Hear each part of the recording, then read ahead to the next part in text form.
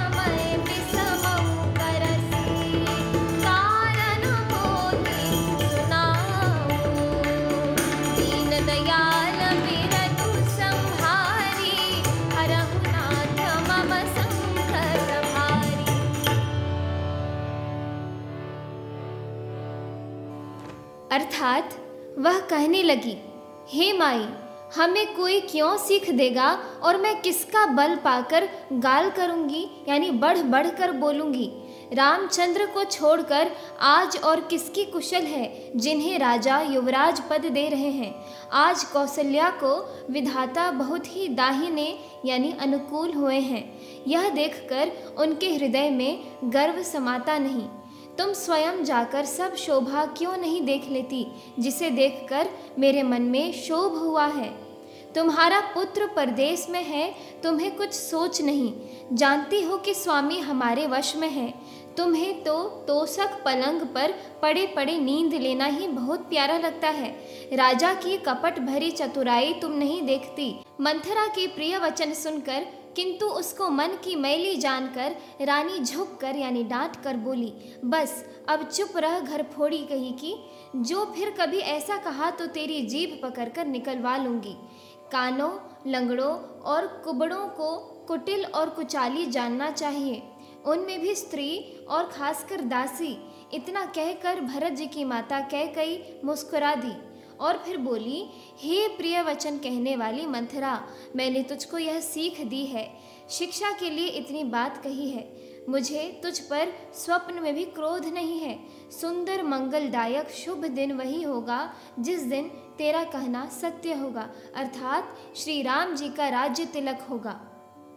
बड़ा भाई, स्वामी और छोटा भाई सेवक होता है। यह सूर्यवंश की सुहावनी रीति है। यदि सचमुच कल ही श्री राम का तिलक है तो हे सखी, तेरे मन को अच्छी लगे, वही वस्तु मांग ले, मैं दूँगी। राम को सहज स्वभाव से सब माताएँ कौशल्या के समान ही प्यारी हैं। मुझ पर तो वे विशेष प्रेम करते हैं। मैंने उनकी प्रीति की परीक्षा करके देख ली है। जो विधाता कृपा करके जन्म दें तो यह भी दे कि श्री रामचंद्र पुत्र और सीता बहु हो। श्री राम मुझे प्राणों से भी अधिक प्रिय है। उनके तिलक की बात सुनकर तुझे शोभ कैसा? तुझे भरत की सौगंध है। छल कपट छोड़कर सच सच कह। तू हर्ष के समय विषाद कर रही है। मुझे इसका कारण सुना। इस एपिसोड में इतना ही। आगे की कथा सुनने के लिए कृपया मेरे यूट्यूब चैनल को ज़रूर सब्सक्राइब करें। जय सिया राम।